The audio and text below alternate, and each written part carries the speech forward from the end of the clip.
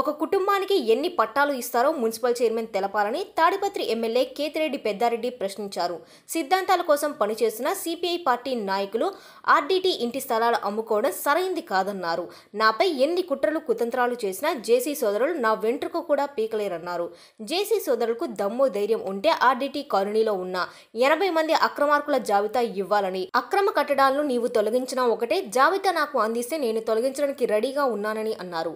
సన్యాసి మఠంలో అర్హులైన వారికి పట్టాలు ఇవ్వడం జరిగిందన్నారు. మిగిలిన వాటిలో కూడా అర్హులైన వారికి ఇంటి పట్టాలు మంజూరు చేయిస్తామని ఎమ్మెల్యే అన్నారు. ఎస్సీ వీళ్ళకు పట్టాలు ఇచ్చే కాంప్లెక్స్లు అన్నీ పెడతారు. కమర్షియల్ కాంప్లెక్స్లు కడతారు. ఇవన్నీ అతనికి అర్థం కావడం లేదా?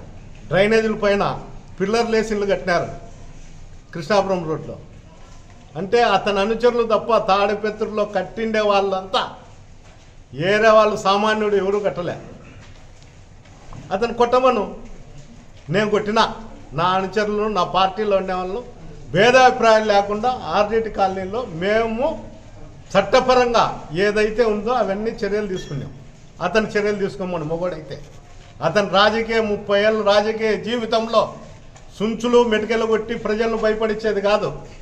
అతనికి ధైర్యం ఉంటే అతని అనుచరులు అక్రమంగా ఏడాడ కట్టినారో ఆ లిస్ట్ అన్ని ఇమ్మను. అతను నోటీసులు ఇచ్చి వాళ్ళపైన చర్యలైనా తీసుకోమని.